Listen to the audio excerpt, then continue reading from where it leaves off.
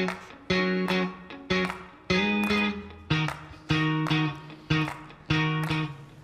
morning, everyone.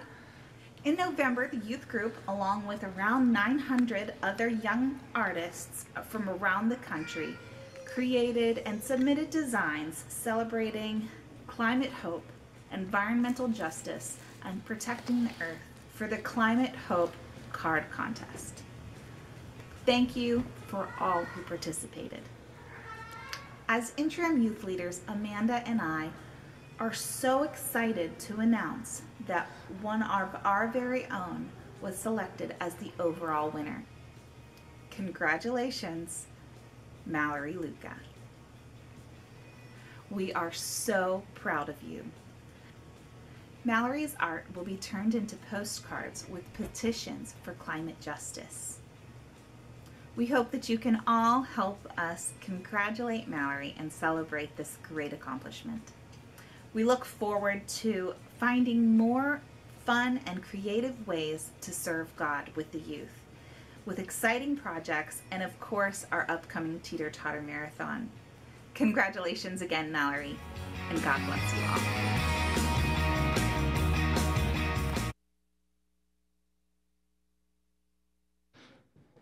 Come, yeah, come on all the way up here so everyone can see. Because they might miss the two of us. we're, we're a little easy to miss in a crowd, don't you think? so, in case you missed some of this, the United Church of Christ held a Hope uh, for Eco Justice con- card contest a couple of months ago. More than 900 kids across the country from ages about four through high school entered. And this young woman with the card that you see up there was the winner. And more importantly than just winning, her card is going to be used to send out to uh, legislators all around the country to uh, promote and to advocate for better ecological justice in the world, particularly in the US. And so we are so excited, so proud of you, and, and so is Evan. And we have a, the UCC is sending her some gifts. I tried to get those for today, they couldn't get them for us, but we have some gifts for you, and you're the, the ones from the uh, denomination are coming in the mail. But there you go. Thank you. Can you take a look? Yeah.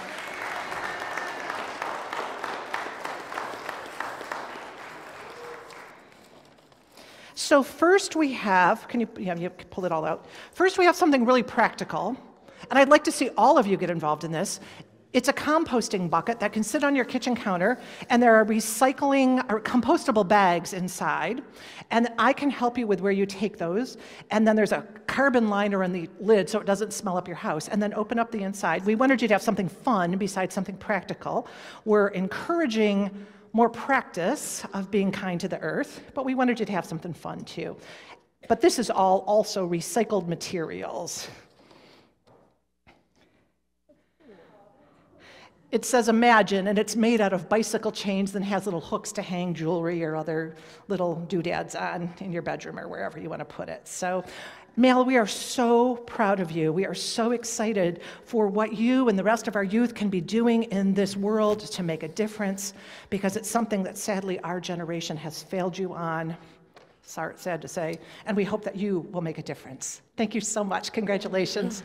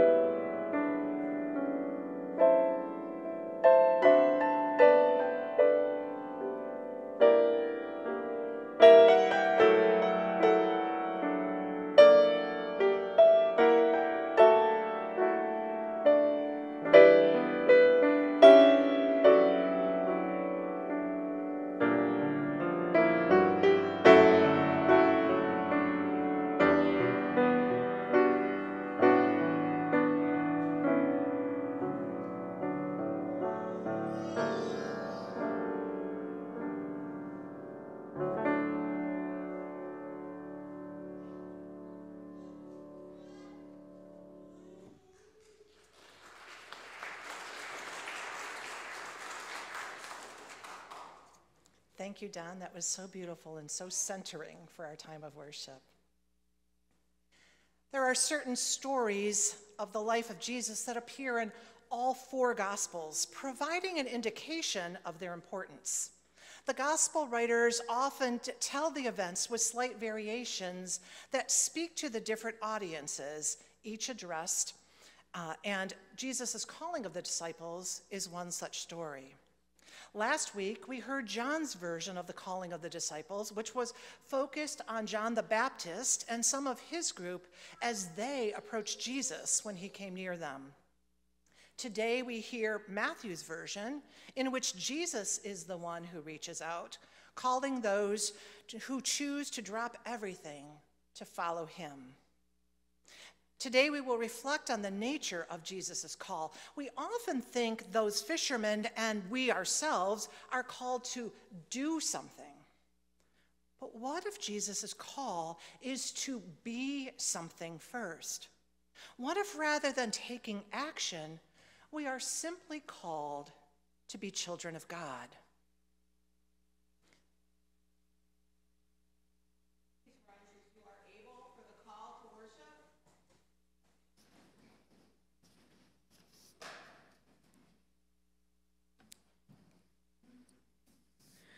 To those who sit in darkness, light has dawned.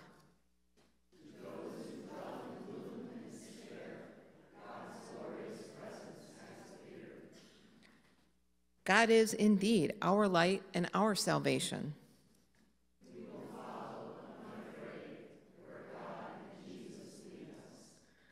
Let us worship our God of light and promise.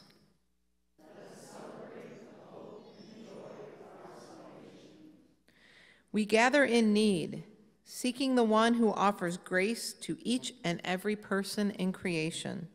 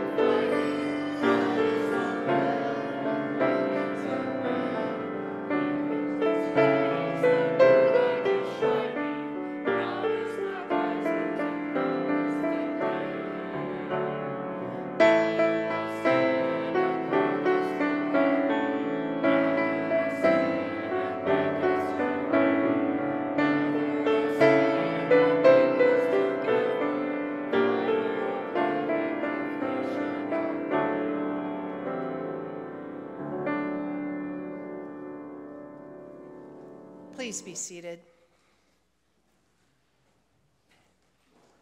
Together, let us confess our sins before God. God of light, we live in the darkness of despair, worried about our lives, concerned about our health, fearful that we are lost from you.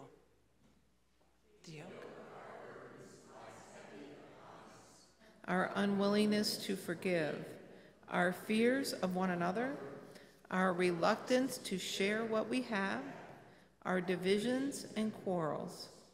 We long to turn from the dark and live in the light. We yearn to leave what is evil and follow the paths of righteousness. Shine the light of your love upon us and transform us with your love, that your promised realm may draw near. Amen. Hear these words that remind us of God's forgiveness always offered for us. The light of God's love shines in the dark places of our world, healing its brokenness and bringing hope to places of despair. The light of God's love makes us a forgiven people. Thanks be to God.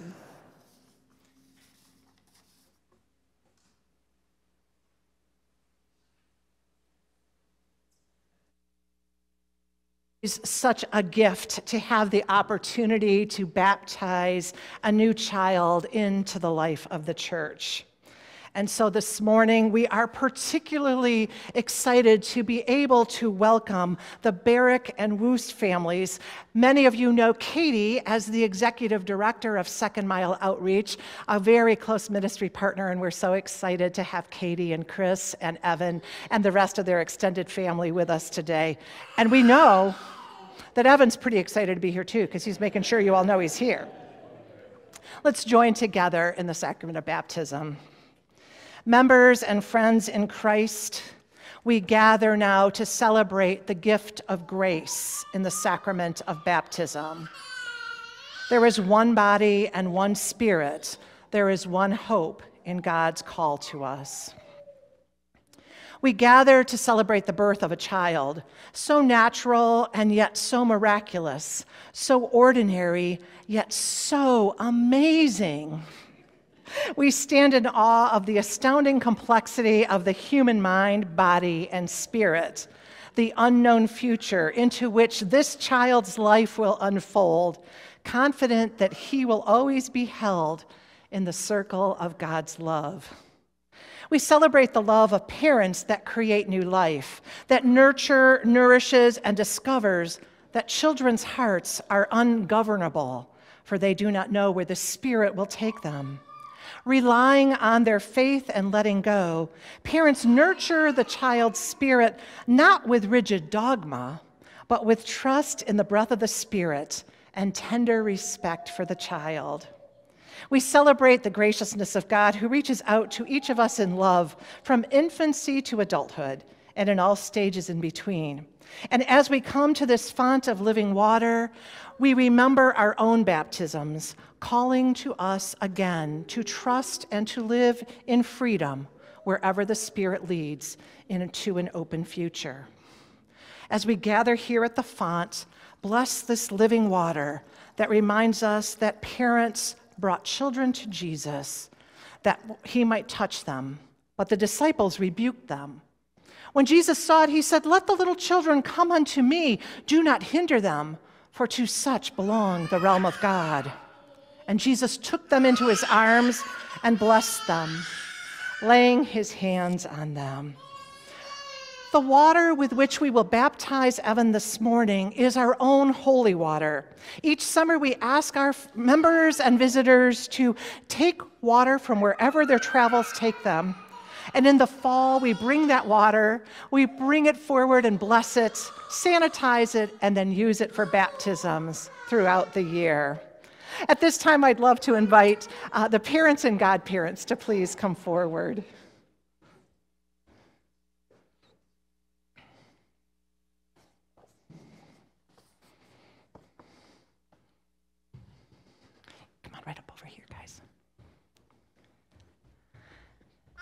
Now, now you're happy, huh? Yeah, now you're happy, aren't you? Yeah, that's good. Baptism is an act of God, a sacrament which claims us as God's own. We celebrate this in the Christian church as we make a commitment on behalf of the child in the hope that he will embrace the reality of his baptism fully one day. Katie and Chris, God calls you beloved and calls your child beloved. Do you promise to raise him and grow with him in the Christian faith, sharing with him the truth of your faith, that he may know God in Christ Jesus and in the Holy Spirit? I know we're almost done, bud. We are almost done. I know. I know. Oh, yeah, you want that, huh? Yeah. I think they hear you just fine without it.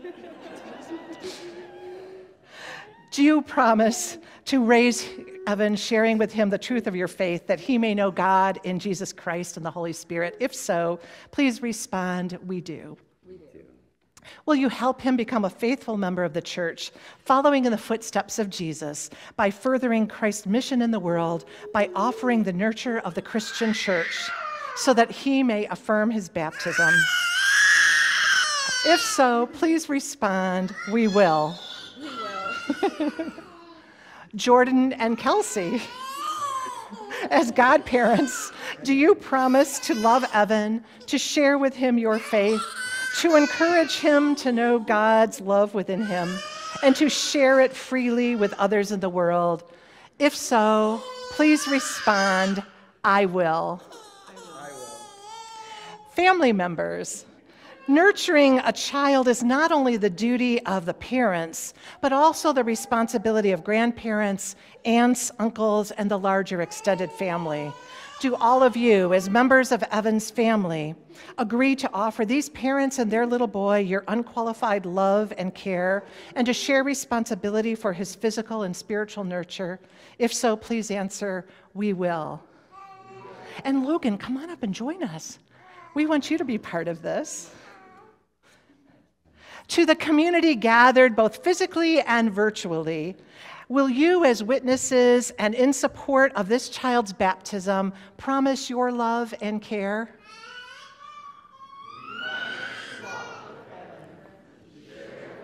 Hey, hey, you, hey, you, hey, hey, it's okay, it's okay.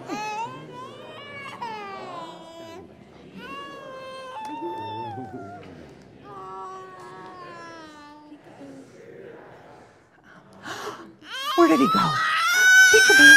Can I take you, buddy? Let's see. I don't think it's going to be any worse, right? That's right. By what name shall we baptize this child? Oh, oh my. Evan Gerard. Oh my.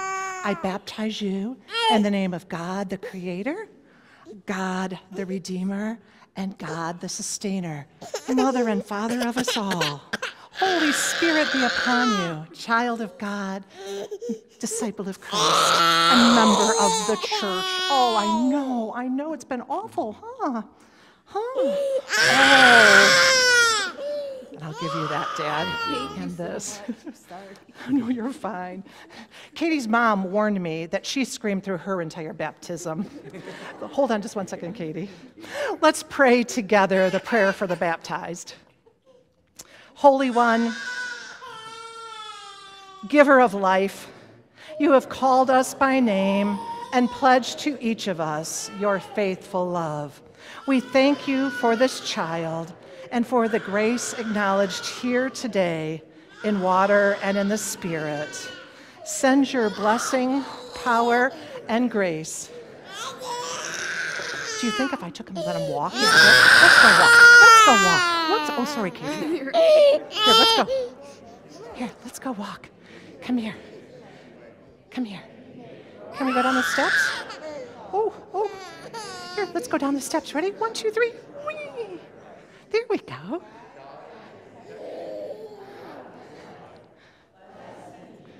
Come here. Let's go see everybody.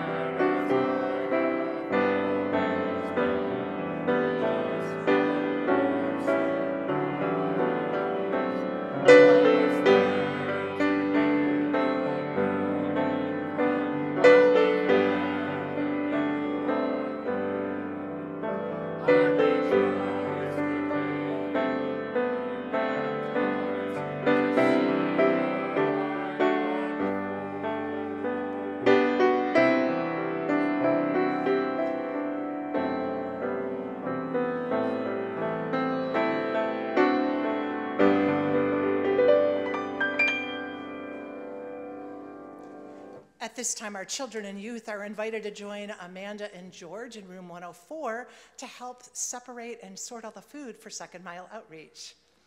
Go ahead, girls.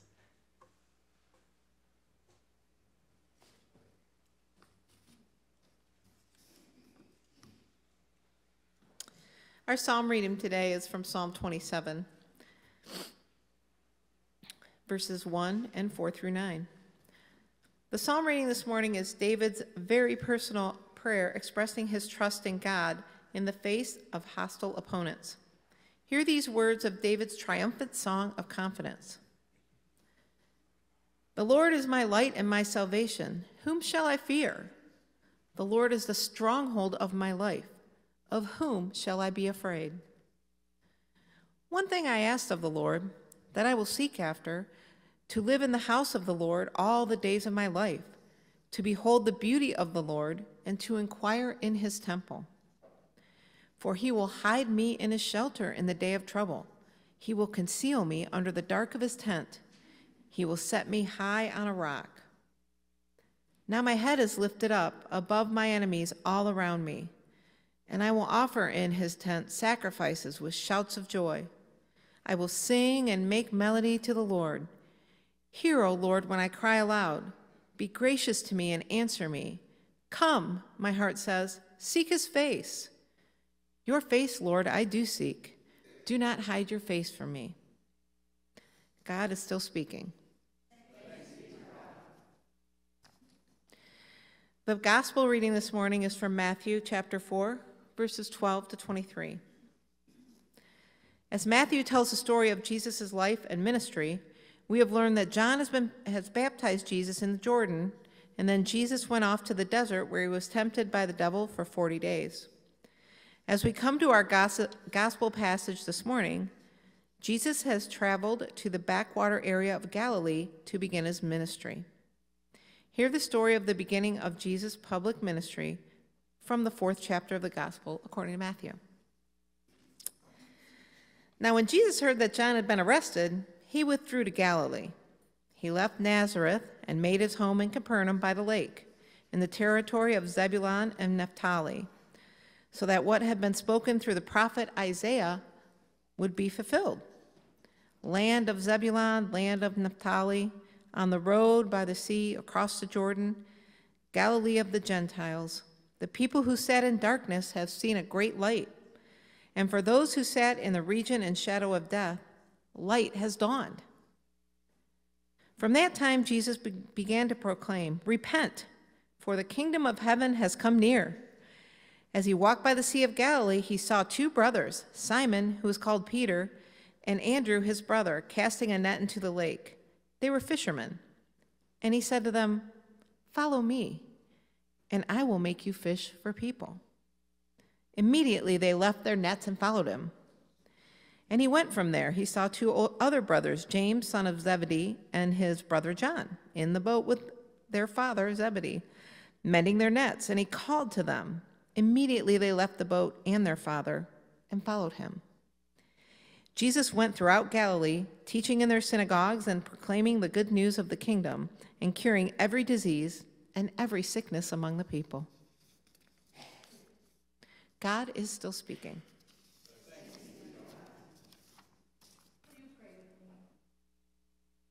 May the words of my mouth and the meditation of each of our hearts be acceptable to you this day, O God, our rock and our redeemer.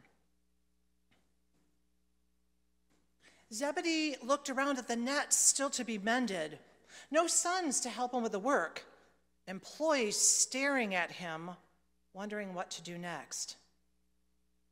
Then he realized he has to go home and tell his wife, Oh dear, honey, they wandered off with Jesus.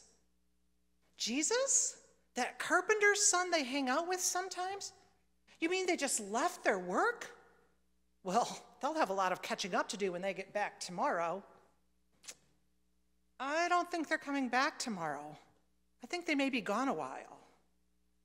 A while? Like a week? Longer, maybe.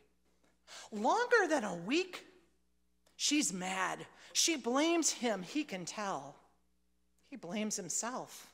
Things have been hard with these boys. They were never excited about the fishing biz. Zebedee inherited a boat and the love of fishing from his own father, and he's built it into something. He's found outlets for his fish in nearby towns a little farther from the coast. He's made enough money to buy another boat and hire some men to help him out. He's trained those men, and two of them have gone on to start their own businesses. He loves the idea of providing a service that everyone needs good local food at a reasonable price. He sends workers to sell at restaurants, and he sells fish from a wooden table that he sets up every afternoon at the docks. Women come by at the end of the day to buy whole fish and then have him fillet it. And every day, there's product left over some fish, an eel or two, and he packs it up for his walk home because he knows the houses and the shacks, and he knows the people who don't even have a shack but have a little fire pit he stops to drop something off for them. From these people, generally widows with no source of income, he takes no payment other than a smile and a thank you. Sometimes they have a loaf of bread they've made for him, and he accepts their gift in trade. Early on, Zebedee's sons went with him on these stops, and they seemed to enjoy it. But as they became teens, they, it annoyed them that their father stopped at the home of the poor and they began to make excuses to go on a home ahead of him. Eventually, there were no excuses even offered. They just left the boat at the end of the day and headed off without their father. But this leaving with Jesus feels different, much more long term. They've been better, nicer now that they spend more time with Jesus. They knew him from school days. Jesus seemed to have matured faster than James and John.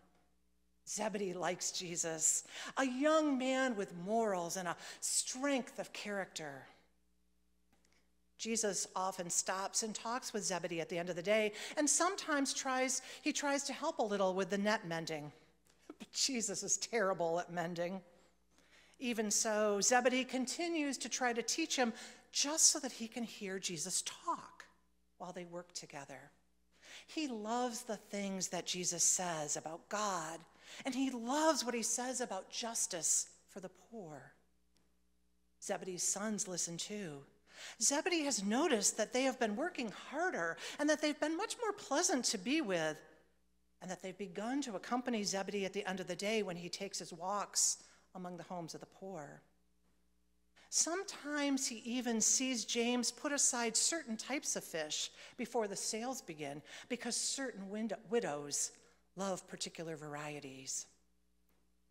Finally, Zebedee has finally found the relationship that he's always wanted to have with his sons.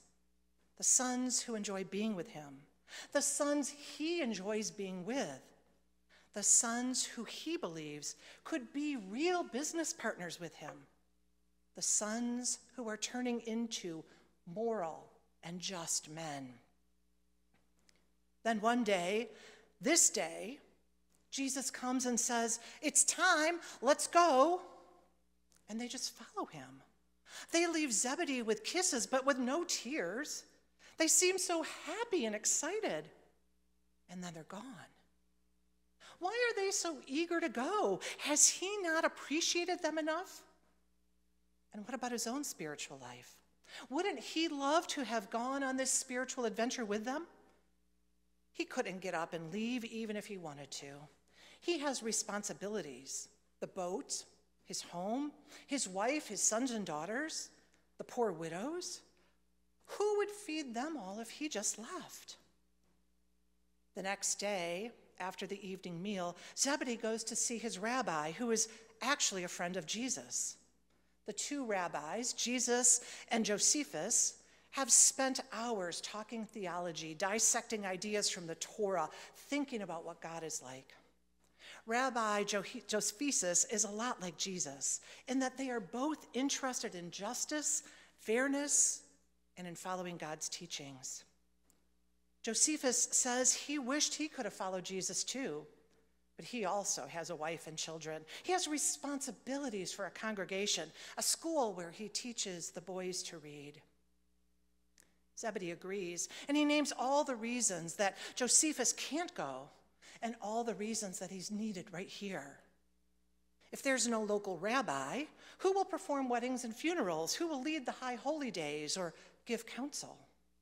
He talks about how God doesn't call everyone to just up and go and leave their work and their family and go someplace for a week, a month, a lifetime. Josephus is silent and smiles. The words Zebedee has just spoken come back to him and to his own life. If the nets aren't mended, how will the workers fish? And if the fishing is abandoned, how will people eat? If it wasn't that Jesus' call didn't extend to Zebedee, it's that Zebedee was called to stay put, to mend the nets, to fish. The next day, Zebedee fishes, and then he sits on the dock with the workers, bending nets and talking. He misses his son so much that his chest aches. He's also a little bit more than envious of their adventurous calling.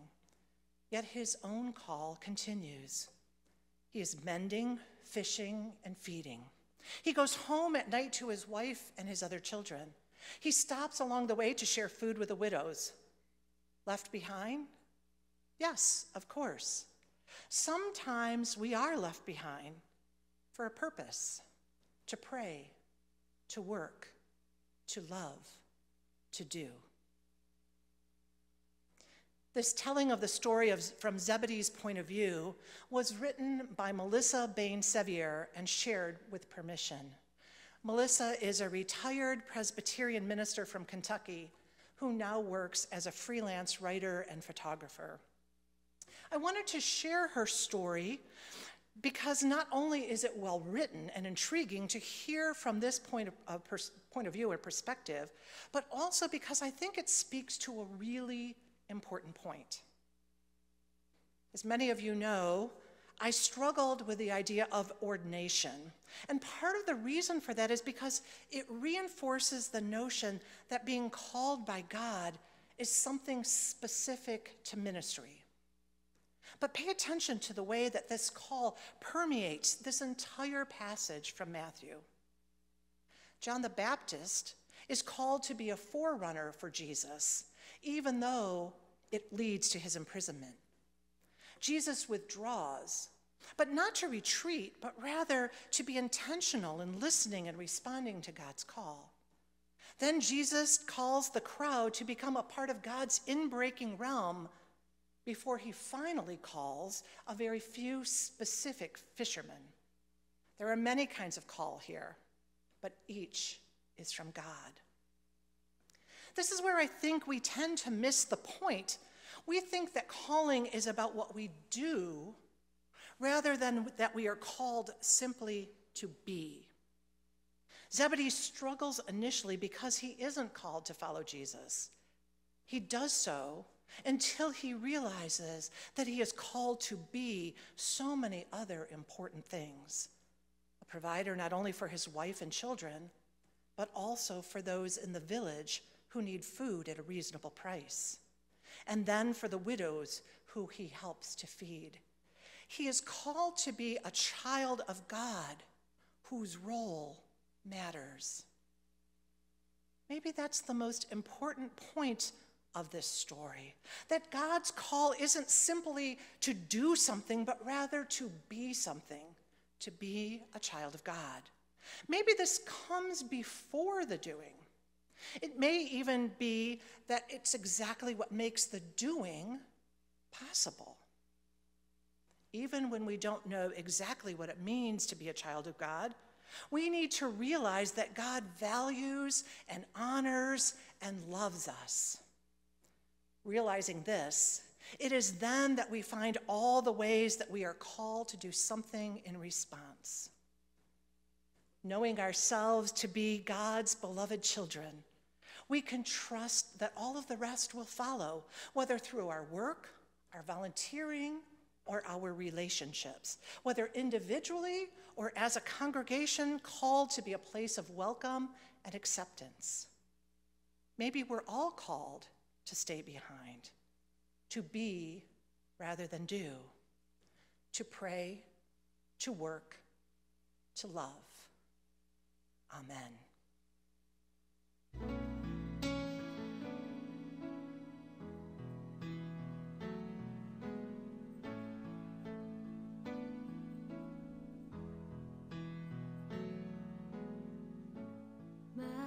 Jesus,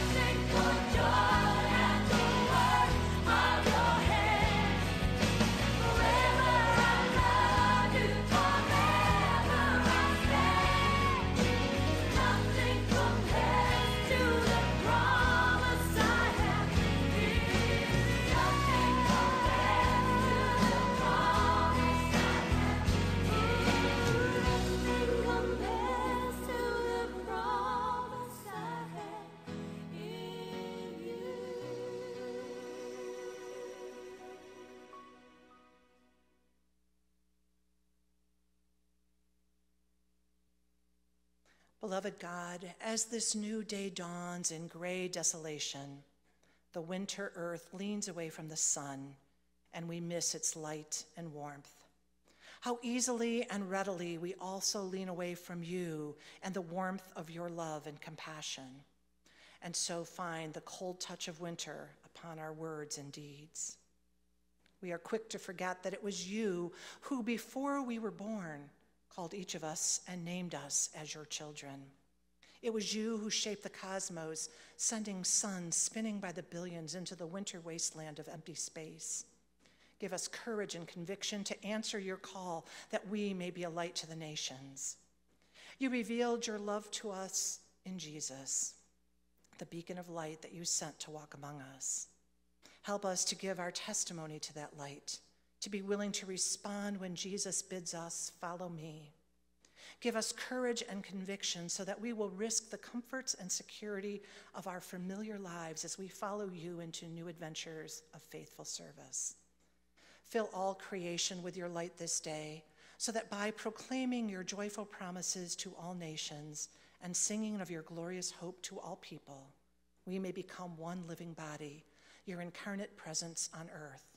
We lift our prayers to you, praying as Jesus, the light of the world, taught us, saying, Our Creator, who art in heaven, hallowed be thy name.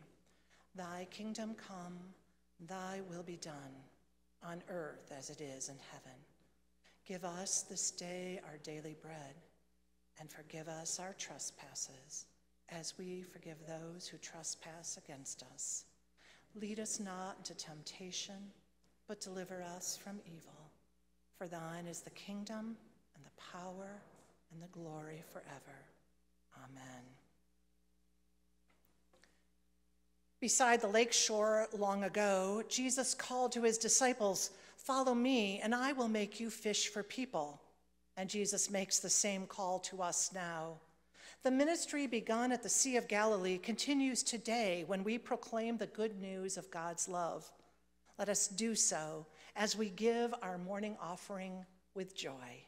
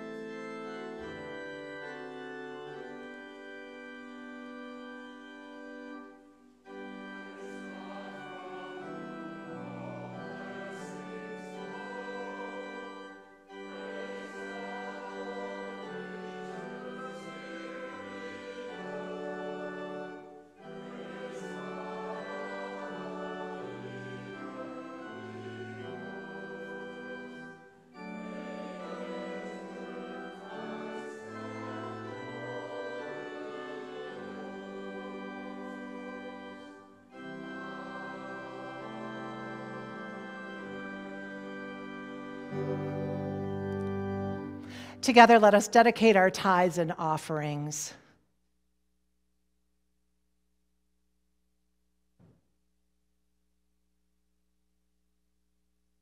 Okay.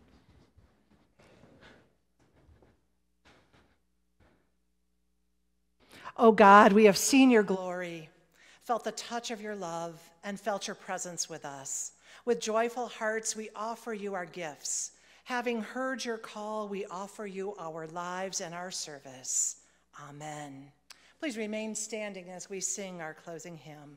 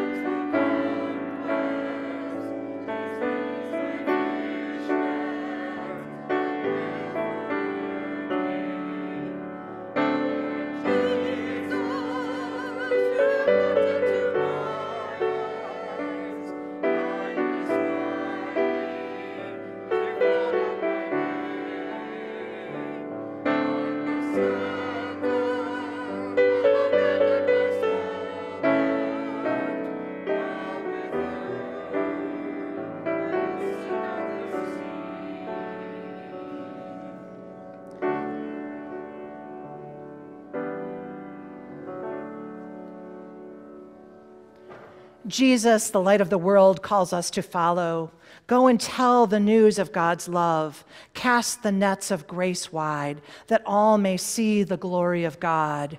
Go forth and shine with God's light, and may God, source, word, and spirit, bless you with the radiance of love as you go in peace.